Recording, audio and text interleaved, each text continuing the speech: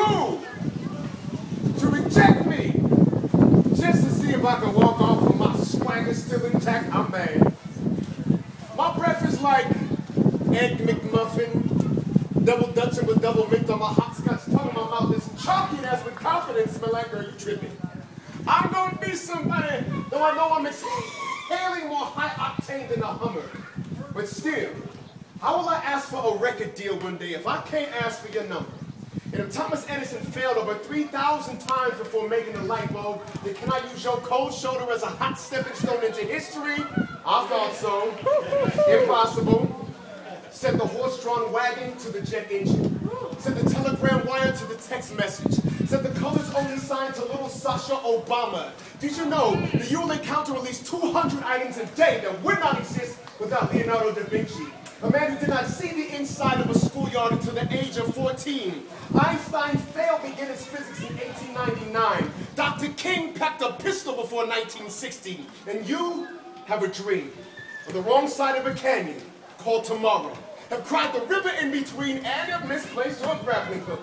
But just because something is impossible does not make it not worth trying. Who cares if the summit is unreachable and climbing the mountain makes you aim to one? Strangely, courage only comes after you do the thing that's scary. But ask David just how tall Goliath looks when he's on his back.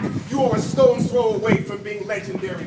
Angels have called your statue in heaven and wait for a reason to ship it to earth. Don't let haters handle your postage. Believe me, my people know a thing or two about doubters. There was a time when the Negro brain was thought scientifically capable of inventing memory and nothing more.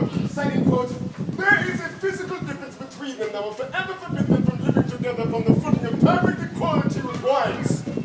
Abraham Lincoln. Now, as articulate as that may be, I believe the blacks who dreamed up the air conditioner, the automatic elevator, truck light, super soaker, cell phone, peanut butter, the pyramids, and fire will disagree. Mr. Lincoln, we got a wireless call from your ego. He said, emancipate that. Show me you're impossible. Tell me it can't be done. I'll show you a climb to a height unreachable. There's a climb already begun. Impossible says a cancerous tumor to its extinction. Just war-torn Africa to its return to global glory. Says a shooting rampage to its pending place in ancient history.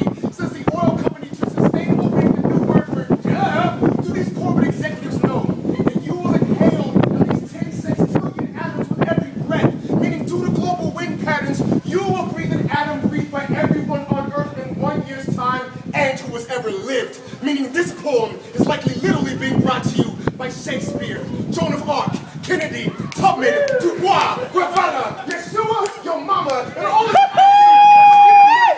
Forget a millionaire. Who wants to be a mountain anymore? People who keep the script flipping more hardcore than parkour. Reminding haters, your failures are not my border patrol. My dreams are not. I want the finest minds in sight to reject my potential and see if they can walk off with their faces still intact. Oh, I'm bad. My breath is like humanity, limitless, unbounded, and impossible.